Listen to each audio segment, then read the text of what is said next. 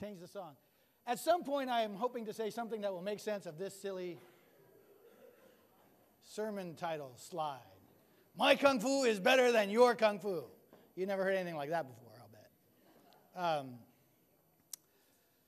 faster than a speeding bullet, right? More powerful than a locomotive, able to leap tall buildings in a single bound. Unless he's wearing a kryptonite suit. Right? Like Superman is kind of useless in a kryptonite suit. Well, I mean, he's probably still a nice guy and you can have a chat, but he can't be a Superman, right? Like, without power, he's powerless. Is that kind of silly? But it's just true, right? Um, we, I saw a, uh, a, movie from 2015 called Into the Forest, and uh, not Into the Woods with Meryl Streep, but Into the Forest, and, and it was all about like it just happened and people don't know what's happening, but the power grid is out. And people are trying, you know, this man and his daughters, they live kind of in the mountainous, you know, area near a small town. And, and uh, like one of the, the daughters is still practicing for the SAT. And the other still practicing for a, piano, dance recital she's trying to, to um, have. And, and they just don't realize that life is going to change dramatically because there's no power. like, what good is your refrigerator without power? How about your microwave? Your computer? No internet? Right? Your cell phone? I mean, just try to think for a moment what your life would be like if you had no power. And of course, you know, services break down and they're not delivering gas to your neighborhood, so you don't have gas for your car. No power. How radically is your life going to change? It, most everything you own is useless, right? It's, it's funny, the movie points out we've only, we've only had power basically for about 200 years, right? Somehow we survived for thousands of years without power. But right now, take away our power, and, and life is like, whoa, what are we going to do? Right? In, uh, in our text today, we're going to get to a place where we're, we're going to see Paul saying that there's a way for the cross of Christ to be emptied of its power.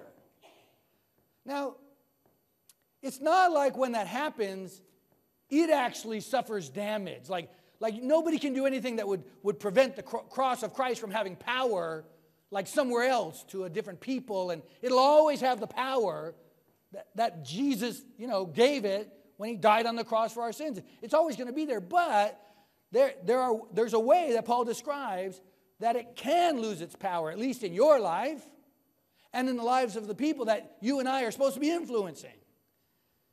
And so, so in our text, we're going to get to that, that place uh, where, where we see there's a way for the cross of Christ to lose its power. Now, uh, last week, if you remember, we, we got to see this. Uh, this great video that told us about the, the letter to 1 Corinthians. Anybody see that with me? Some of you here. Was that great? Those are awesome. I hope you go home and watch those things or come on Wednesday and watch them with us. And it's just great to be able to see an overview of the, these books of the Bible. Um, but we saw that Paul's goal in trying to help the church, especially there at Corinth, but I think it's preserved for us because it's supposed to help us too. Is that right? So Paul's goal is in everything, as, as that video pointed out, in every issue the church was facing, his goal was to get their minds focused where?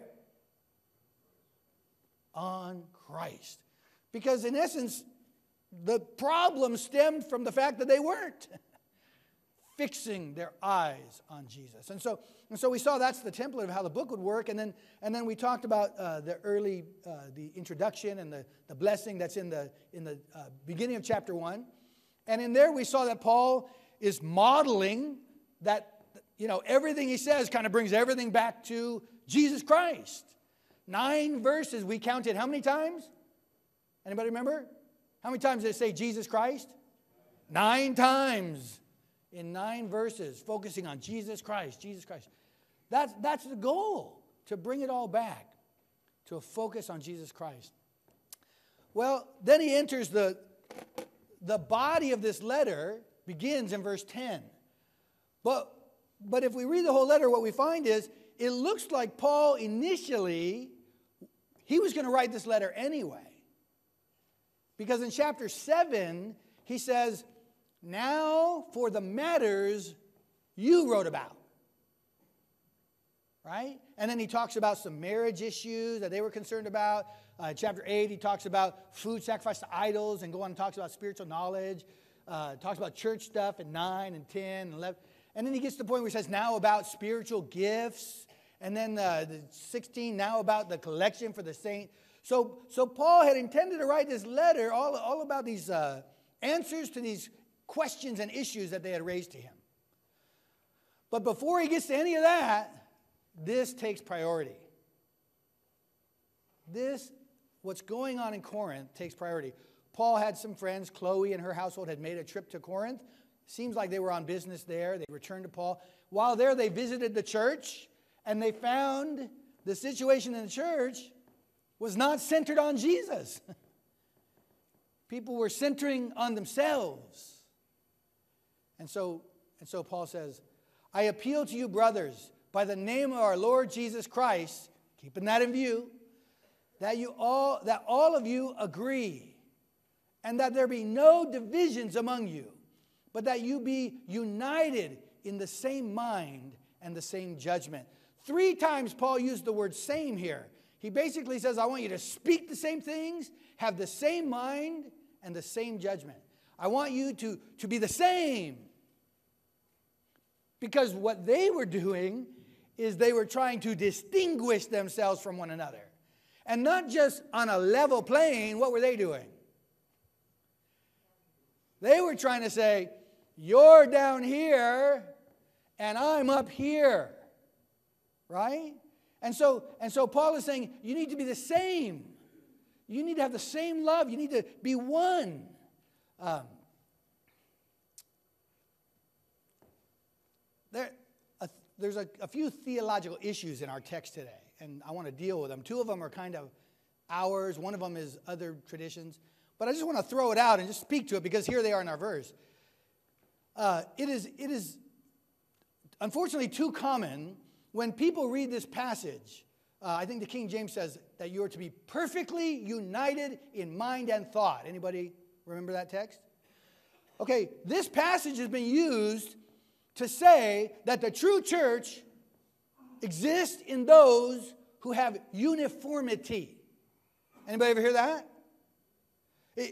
In, in other words, unless you and I have the exact same doctrine about all the Bible issues and all the practices of what we do in church, unless we have the exact same thing, then we are not both the church. Either I am or you are, or neither of us are, but we can't both be, because the true church is, uh, exists in uniformity. Now, here's how I know that that's just not right. First, I know Paul. I know he says in Philippians, and if, and if, and if on some matter you think differently, and he doesn't say you're all going to hell, He says, if on some matter you think differently, God will reveal that to you too. Only let us to live up to what we've already attained. Philippians 3 something, 14 or somewhere. He doesn't say if you think differently, you're toast. And even here in this text, even here in this text, if Paul is saying that the church only exists where there is uniformity, from what we already know in this letter, is there uniformity in Corinth? What? No, it doesn't appear like it. And Paul knows it. In fact, he's writing this whole letter because it's not. And so, what had Paul just said last week about this group of people? Do you remember? He basically said, and you can read it in verse 4 through 9, you're the beautiful church. You're, you've received every gift. And, and the testimony of Christ is confirmed in you, and God is faithful and will keep you to the end. Was Paul doubting that he was talking to Christians when he wrote this? I mean, there is an issue we deal with in chapter 5 about one guy, but the body of believers who are amiss, no, Paul doesn't cut them off and throw them away. It's just, It's so ironic, it's terribly ironic that a, a, verse that Paul is writing to bring unity has been the cause of so much division. It's just silly. Uniformity. My goodness, does that exist anywhere? Did anybody watch Newlywed Game last night? one of our, one of our closest uh, relationships in life will be uh, the two shall become one flesh. Is that right?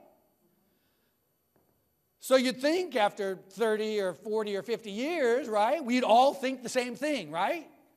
Anybody have that experience? Anybody married in here for 30 or 40 or 50 years? Raise your hand. Now keep them up if you and your spouse just agree on everything. Wow, I got one back here. I think the other spouse may be a deferrer. but at least in most people's experience, right? Uniformity, it just, it's, it does, it's a unicorn, right? It doesn't exist. What Paul is calling for here is not uniformity. He's calling for the unity of the Spirit through the bond of peace. He's calling for all of the, the church to be of one mind and one goal and one purpose in one body. Um, this isn't real, okay? It's our imagination. But you ever watch movies where uh, some aliens attacking Earth? Anybody watch these movies? Where aliens are attacking Earth? What happens to all the nations that have all kinds of problems with each other? Yeah, I don't know if this really would happen, but at least in our imagination, we believe that when somebody is trying to destroy humanity or the earth, we all get together and we have the same goal and we're of the same mind and we want to conquer them because we want to save humanity. That's what Paul is looking for. We have a common enemy.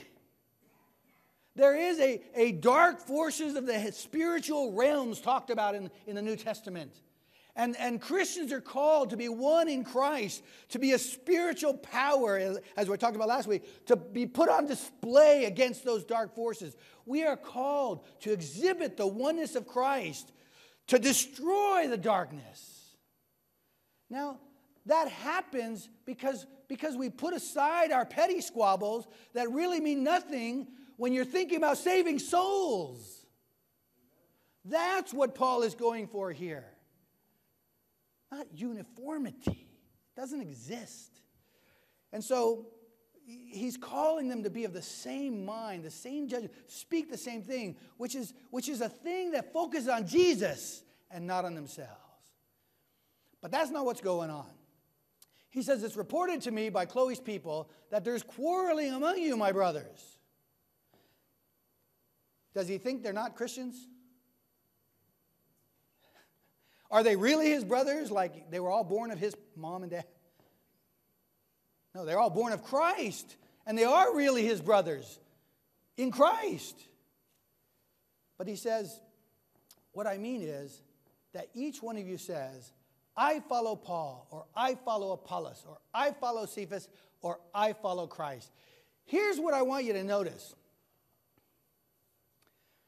I mean, if it was me and, and I, had, I was dealing with a body of Christ where people were saying these things, I don't know, I'm, I might be tempted to say, one of you got it right. Right? Hopefully, not the ones that said, I follow Randy, right? Hopefully, that's not the ones Paul would talk about, right? But which ones would he say got it right up here? That makes sense, doesn't it? But Paul doesn't go there. As far as I can tell, he doesn't see anything better about I follow Christ than I follow Apollos or I follow Paul. At least not in this context. You see? Because in all of these, even the people who say I follow Christ appear to be saying it to say, and you don't. I'm different than you. It's still separating. What would the right answer be? If somebody wanted to speak into I follow Paul, I follow Apollos, I follow Cephas or Peter, the right answer would be the people saying, but, but we follow Christ. That, that's the spirit we're looking for here. So that's what's going on here. The, the people are focusing attention on themselves. Okay? So, so what are they doing here? I'm telling you, this is the stuff kung fu movies are made of. They're saying, they're saying, my kung fu is better than your kung fu because my master can beat up your master. Right? Like, I'm of Paul because Paul's the one who came by here with the gospel. And he and Jesus snatched him right up out of the world on the road to Damascus. And he spent three years in Arabia in visions, and he'd, he'd been taken to some heavenly state, and, and, and he's shown all kinds of powerful miracles and stuff. I'm with Paul. That's my guy. And another guy said, Well, you know what, Paul? He doesn't really speak that well. He's, you know, kind of clumsy with his words. He, he's not really a great orator. I'm going with Apollos. I mean, he's mighty in the scriptures and he's a great preacher, and I kind of like Apollos. I'm going with him. Right? And others like, well, no, but Peter, you know, he's one of the original 12. Jesus gave him the keys of the kingdom. He opened the gospel up to the Jews in Jerusalem and to the Gentiles in Cornelius' household. I'm going with Peter. All of that, all of that is not an attempt to try to raise up those guys, and they don't want it, by the way. Paul doesn't want it. Uh, we know Apollos doesn't want it. Peter doesn't want it. Jesus doesn't want him doing that. But, but that's not why they're doing it. They're not doing it to raise those men up. Why are they doing it? And, and we do this today. People do this, right? Um, uh, you know, I guess for guys, like maybe it's they maybe they want to know what, what's on your paycheck, right? Um, I don't know. I I think, and so don't. I, I'm sorry, I'm not trying to pick on the women. But I think I get the impression that in certain circles, if, you're where, if you have a Dooney and Bourke purse, you're probably special. Or, or in other circles, if you have Louis Vuitton, you're probably really special. Uh, am I right about that? Is there somebody better than Louis Vuitton? Mary Kay. little push, a little promotional here. You know what I mean by that, right? It's like you know, uh, I, I, you, know, I, there, there's a movie a long time ago. It was an old movie. I think it was, um, oh, called The Game with Michael Douglas. Anybody ever see that? I just can't forget. He's, he, he's in this thing. He's racing around. He's, he's, he thinks he's being chased, and he, he's climbing up, trying to get away, and he loses one of his shoes. And he says to whoever the girl is that's, that's with him, he says, oh, there goes a $1,000. And she said, you buy a pair of shoes for $1,000? And he said, Well, just that one.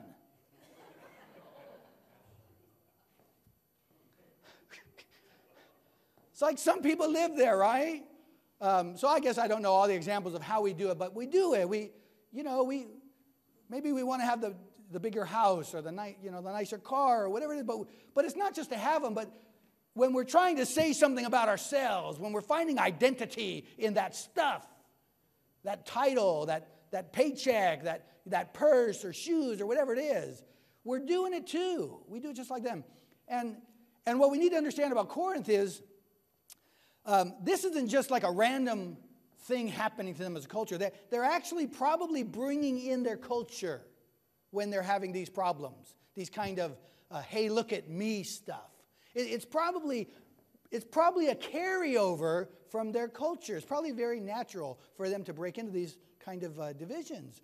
Because I, I don't know if you knew this, but Corinth, while being a very ancient city, at the time Paul started the church there, they were actually a very recent population. Um, in like 147 BC, a guy named Lucius Mummius the mummy.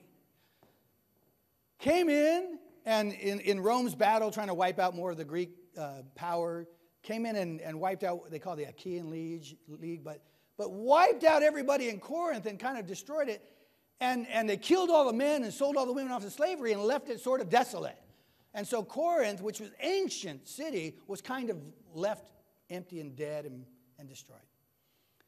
And then about 100 years later, under Julius Caesar, like in 44, he, he needed Corinth as a, a main city and, you know, its ports and everything is very valuable. So he repopulated it with Romans and with Greeks and with uh, Jews. and with Syrians and people from Egypt, and he repopulated it. So this is only a this is like less than hundred years from the time that Paul is in Corinth. So how much melting pot happens in, in 80 or 85 years? You, you see what I mean? It's a fairly new population of segments of peoples and cultures. And so that's one reason why they would be quick to kind of have this mentality of, well, I'm different than you because I'm this kind of person. But the other reason is from the, you know, even though the Romans took over, everything was still Hellenized. It was all very Greek. And, and people prized uh, wisdom. And, uh, and it may not have been real wisdom, but it was something everybody thought was wisdom.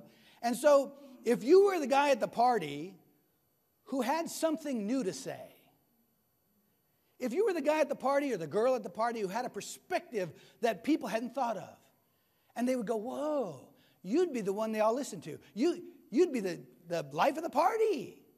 And so people wanted to be the life of the party. They wanted that kind of status and clout and hey, look at me. Some people would hire like a philosopher to live in their home and, and just uh, have conversations with them about the current issues and, and speak wonderful things that, so that they, when they went to their parties, they could be that guy or that girl. And so it was very natural, it was part of their culture to be a people who would break into I follow Paul or I follow Apollos. One other theological point related to the last one I kind of mentioned about, about um, being perfectly united in mind and thought. Just one more here I want to throw out. And this one also is uh, kind of in, in our heritage. The last one's going to be in other heritages. But here, you know, if somebody is segregating themselves by name, is there an English term for that? What do we call it when you segregate, segregate monies by name and type? What is it? Yeah, those are different denominations of money. Okay? Don't get mad at me, but I'm going to say this. These guys in Corinth were technically and literally doing what? Denominating themselves. They just were. Now, I've heard a lot in my Christian life if you have denominated yourself, you're going to hell. You're not a true Christian. Am I the only one who's heard that? These guys have denominated themselves. They have identified themselves with a particular name. That's what it means. I can't find anything in the passage that makes me believe that Paul has cut them off. I'm just saying. If you think that's not true, then come see me later and show me why. I can't see anything here where Paul says you, are now disqualified as a Christian because you have denominated yourself. Now, is it good for us to be denominating ourselves so that we can separate from each other? No, it's not good. It's better if we all speak the same thing and are one. That's way better. And it's why our tradition used to say, let's be Christians only. But they would also say, we want to be Christians only, but not the what? We're not saying we're the only Christians. Now, some people started saying we're the only Christians. And I'm just saying you can't get that from this verse. That's all I want to point out. We're in this passage. It's not really the point of this sermon, but we're in the passage, and there it is. These people are denominating, and Paul doesn't kick them out. So let's be like Paul. Is that too much to ask? Let's be like Paul. Let's have more grace. Let's let God decide where the boundaries are. Okay, so we press on. So Paul's answer is three rhetorical questions that are all answered no. His, his answer is Is Christ divided? Well, is he? Of course not. Was Paul crucified for you? Of course not. Were you baptized in the name of Paul? Of course not.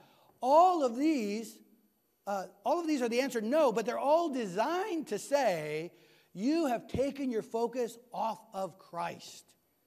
You have taken it off of Christ. You're not thinking about the fact that you are one in one body in Christ. You're not thinking about the fact that it's, it's because He was crucified for you that you are one with God. You're not keeping that in your mind that He died for you. And you've lost sight of the fact that when you were baptized, it wasn't Paul or somebody else you were identifying with. When you, were, when you were baptized, you identified with this Jesus who saw that the way to truly be the best and the greatest and the most glorious was to lay his life down for the will of God and to raise others up.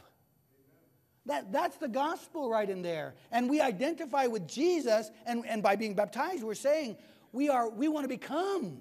We want to die to ourselves and become like Jesus. That's what it's all about. And so Paul says, Well, you were baptized in my name. And then we get this little, uh, this little piece by Paul. He says, I thank God that I baptized none of you except Crispus and Gaius, so that no one may say that you were baptized in my name. I did baptize also the household of Stephanas. Beyond that, I don't know whether I baptized anywhere else. Listen, I love that he says that. I love it because it says to me he's not keeping track. Isn't that great? I mean, I've heard people say, man, I baptized 827 people. I don't know. In fact, I don't even know everyone I baptized. I forget. I don't even remember all the weddings I've done, and that's bad. I mean, I wish I did, and if I did yours, I remember it. but I'm telling you, there's some I don't. And, and I can look at the pictures and see myself there and just not be able to place myself there. But I'm certainly not keeping track of the baptisms. I'm not. And, and I see Paul, he's saying, hey, that's not what's important. We're not trying to keep track of that stuff. If I did that, I'd be lifting myself up and saying, hey, look at me. But I, I want to say something about, uh, so this is the third theological thing I need to throw in. It's not our tradition's problem, but other traditions. They read this passage out of context. For Christ did not send me to baptize, but to preach the gospel. Out of context, you yank it out and you say, here, here's where Paul says baptism is not important. He, he wasn't sent to baptize. Well, put it back in context. You know, Paul, Paul did baptize people. He taught some deep theology about baptism. And the fact of the matter is, he, he actually was sent to baptize. Uh, the, the commission in Matthew, at the end of Matthew, is for all disciples. Uh, Go ye therefore and make disciples of all nations, baptize them in the name of the Father, Son, and Holy Spirit, and teach them to observe everything I've commanded you. That is for all disciples. Paul had that commission as well. So why would he say this? Well, my goodness, words only, the words themselves only carry, what do they say, 7% of the meaning? I mean, the rest is in context and, and in sometimes inflection and all these other things, but, but you've got to get to what he meant. And what he meant was, Jesus did not just send me around to dunk people. He, didn't send me to get people dunked. The goal, my whole goal in life is not to get you dunked. My goal is to get you connected to Jesus, to get you to lay your life down and see in what God has done at the cross the power to transform your life and to, and to give you peace with God. My, Paul would say, My goal is to bring you, to reconcile you to Christ. That's his goal. Now, of course, faith, repentance, and baptism are in that stream. But they're not the goal. The goal is the unity of spirit through the bond of peace, the love. The goal of this commandment is love, Paul says, I think to Philippi. So, so of course he could say, look, if you're going to make baptism somehow about you or about me or, or make it say somehow you're special because you had a special teacher baptize you, you're still claiming your kung fu is better than others' kung fu because you have a better master. If you're still doing that, that's the world. You brought that in from the world. And that's not what Christ is about. And so if and Paul's saying, so if baptism is a stumbling block, well, well, forget about that. you're getting hung up on that. You need to know the goal is to get you connected to Christ. Now go read Paul's theology about baptism and you'll it's clear. Of course he baptized and taught baptism. But his point is it's not about that. It's about Jesus. It's about transformation.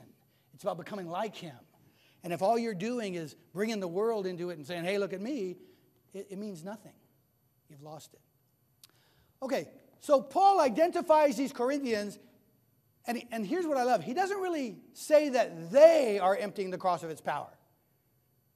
He doesn't say they are, but he does say what they are doing is their focus is not on Jesus. They have focused on themselves in lifting themselves up and putting others down. what Paul says, so instead of saying, ah, you guys, Paul says about himself, if I were to focus on myself and preach in such a way that every, everybody thought I was cool, and baptize in such a way that everybody would think they were cool because I baptized them. Paul is saying, if I did all of those things, which you guys are doing, then I would be emptying the cross of Christ of its power. But Paul's not doing that. But somebody is. And he's implying this is exactly what you guys are doing. If I did what you guys were doing, I'd be emptying the cross of its power, right? If A equals B and C equals B, then A equals what? C, right? I mean, this just, he's implying it. So, how do we apply this to our church? How do we apply this to me and you, okay? Or you and I? No, you and me. because, to be honest, even though I believe if we sat down and, and talked about everything we believe theologically and everything we believed about, you know, practically about what to do as a church, I believe we would get down to where some of us were like, well, I kind of follow more of a traditional way of thinking about things. And some of us would say, well, I'm kind of following more of a progressive way of thinking about things. And, and some would say, well, I'm, I'm just following what I think the scriptures say, right? Wouldn't we get there at some point? I think we would. But the fact that we're not wearing signs and banners and, and doing this to each other is awesome. I mean, so we're not emptying the cross of its power in this way. And I get that. I'm, I'm happy about that. We should celebrate that. But is there a way we might be emptying the cross of its power? And I thought of one. Don't get mad at me. Um, let me ask you this how many in here are desperately in need of the grace of God and the mercy and the forgiveness of the cross of Jesus Christ? I knew that. Me too, I knew that.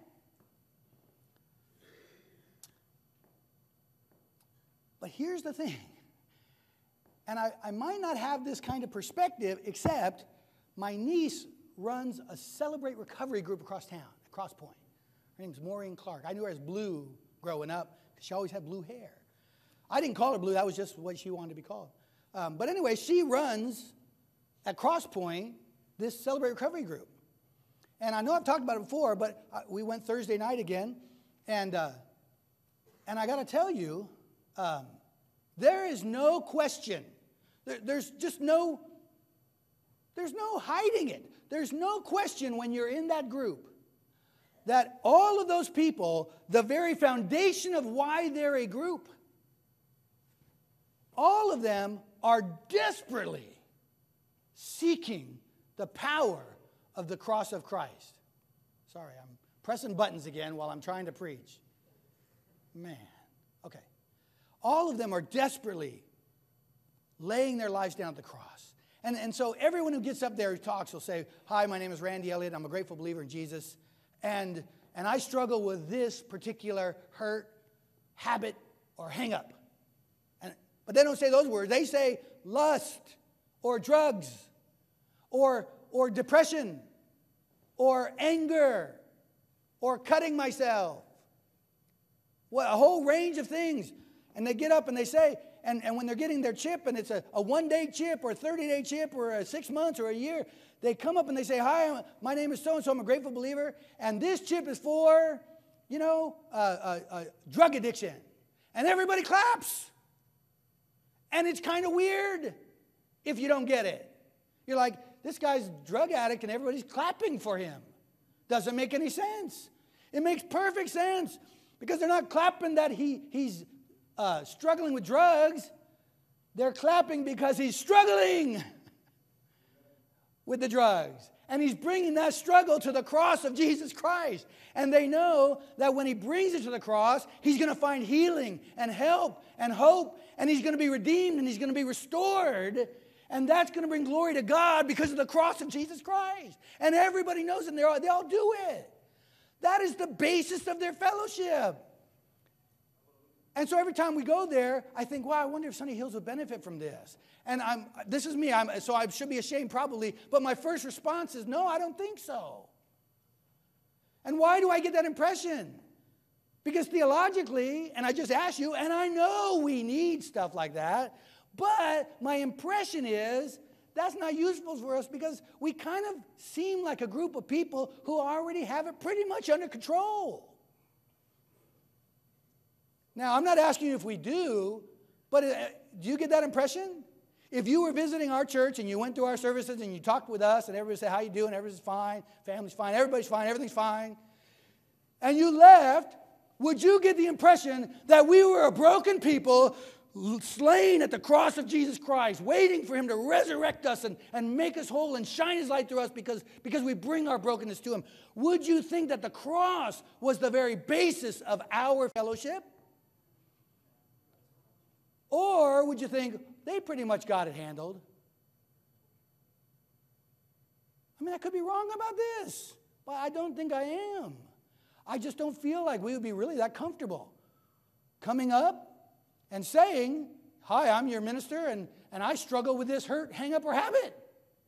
I don't think we're comfortable with our elders coming up here and saying, Yeah, really, you know, I'm, I'm really having a struggle with this. And we all clap and say, Yeah, lay it at the cross of Jesus. I mean, that's what we should be able to do. But I, I don't see it. And so I, I don't know. I don't know how to fix it, but I'm just saying it's, it's possible, isn't it? It's possible that we may not be exhibiting the power of the cross of Jesus Christ. Now, I'll grant you this. I get it. That kind of group, there, a lot of them are kind of freshly coming to Jesus and working out that stuff. I get that. And, and I believe that many people in this body of Christ, because of the power of Jesus in their lives over many years and even in their families' lives over many uh, uh, family tree, uh, generations. I believe that God is, has repaired a lot of stuff. But I don't think that explains it away. Because even if He's repaired most of it, do we still see ourselves desperately in need of the cross of Jesus Christ? I know I do. And I just, I don't know how to get there, but I believe that we need to be a people where that's evident to anybody who comes in the door. We need to be real. I appreciate Jim was talking about do you believe in Jesus? yes. Do you believe in the cross of Christ? Yes. Do you believe that you need the saving power of the blood of Jesus even now? Do you? Look what Paul says. This is the last verse. For the word of the cross is what? It's foolishness to those who are perishing. But to what? Us. Is Paul a new Christian? Is Paul a babe in Christ? I don't think so. But to us who are what? Being saved. There is a sense in which you are saved and confident, yes, but there's also sanctification. We are in the process of being transformed by the renewing of our minds. And, and so Paul says, for us who are in the process, the cross of Christ is what? The power of God. We need to live in such a way that people can see that, even if it's humiliating. Because people who are struggling need to see people who have struggled and been raised up. And they need to know it wasn't us who did it, just because we're so good at it. They need to know it's the power of the cross of Christ. If we can minister to you this morning in, uh, in regard to your spiritual journey, in regard to talking about sin or, or, or faith, whatever's going on in your life, come talk to me, talk to one of our elders, and uh, let's start a, a prayerful journey toward resurrection.